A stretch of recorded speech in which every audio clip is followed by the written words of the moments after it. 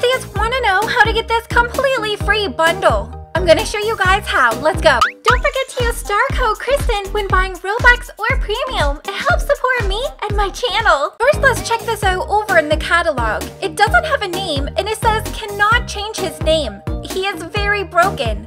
Set the scaling to the lowest for it to look like it should. The arms will still be broken and I'll upload the fixed version someday. So as of right now, this is a completely free bundle to get, and I'll leave a link for this in the video description. That way if you guys want it, it's easy to find. Now I just went ahead and purchased mine, and let's go ahead and try this on. You'll find the free bundle that you just purchased over in your characters under purchased. Now let's go ahead and equip. I think this looks super cool, and I want to see what we can accessorize with. The classic clothing doesn't work, however, the 3D clothing and auras all work perfectly with this bundle. I'll leave a link in the video description so you guys can get it now for free.